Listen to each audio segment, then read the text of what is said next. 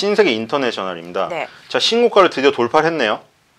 25만 원. 지금 대단합니다. 자, 이 제가 왼쪽에 에스티로더를 펴놨죠. 에스티로더 지금 역사의 신가, 신고가. 자, ST 앵커님 혹시 지금 네. 색조 화장품 뭐, 뭐 바르신 거예요 오늘? 오늘요? 저는 여기저기 거 섞어서 발라요. 아, 그 뭐 지금 뭐 에스티로더 거 이- 예를 들어 에스티로더에 뭐 음, 있냐면 에스티로더 갈색병. 그다음에 아, 다 더블 바르시네. 웨어 파운데이션. 일단 갈색 병은 기초 화장이고 네. 에스티 로더의 색조 화장은 바비 브라운도 있고 맥도 있고 조말론 향수도 에스티 로더고요. 아, 그래요? 네. 바비 브라운도 에스티로더에. 모두 다 에스티 로더입니다. 그리고 오. 갈색 병은 갈색 병은 지금 스테디셀러죠. 맞아요. 면세점 부동의 1위고 갈색 병이 되게 나온 지 오래됐음에도 1세대부터 계속 나와서 지금 6세대까지 왔는데도 계속 1등이에요. 뭔가 그거는 필수로 네, 발라야 필수에 될것 무조건 같은. 걔는 1등인데다가 색조 화장 바비 브라운 맥이 워낙 강해요. 네. 그리고 비싸요 일단 여자친구한테 여자친구 또 여자친구 이게 좀 아니. 너무 여자친구가 남자한테 사주는 걸로 제가 뭐 특정 지을 수도 있는데 그냥 얘입니다. 요즘 아, 저 여자 연상이? 예.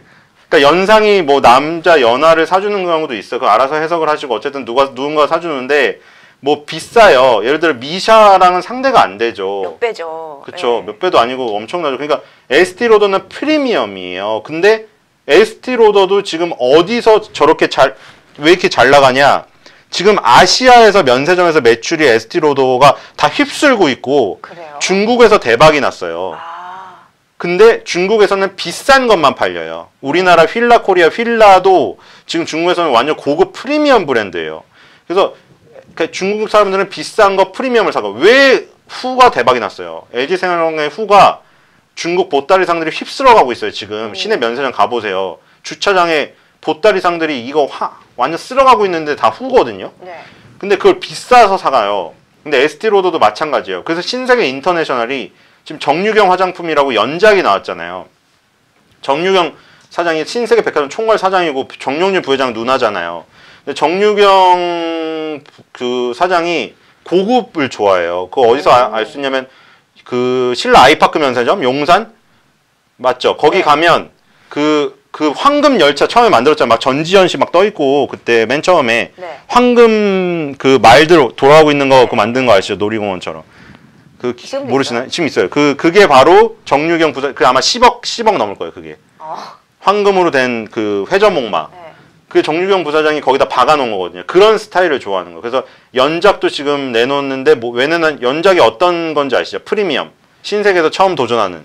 그러니까 아모레 퍼시픽에서 설화수가 있다면 LG 생활건강에는 후나 숨이라는 프리미엄 라인이 있고 신세계가 연작을 내놨는데 음. 지금 성공적이에요. 물론 captive market, 신세계 백화점, 신세계 면세점을 갖고 있기 때문에 거기 깔았죠.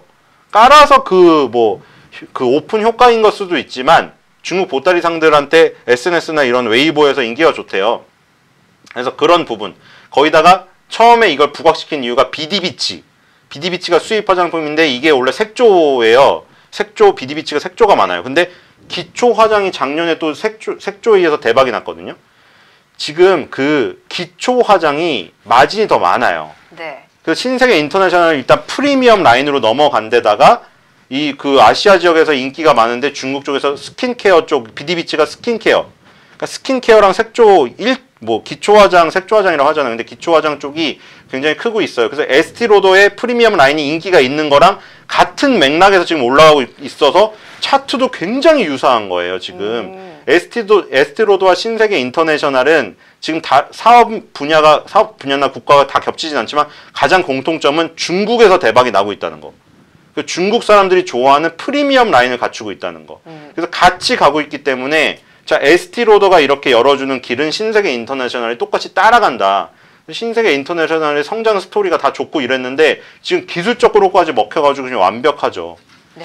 그래서 지금 이거는 굉장히 지금 강하게 올라갈 거라고 지금 전고점 돌파할 때부터 지금 계속 보자고 했는데 전고점을 돌파해 버렸거든요. 네. 자 이렇게 되면은 시나리오가 완성됐어요.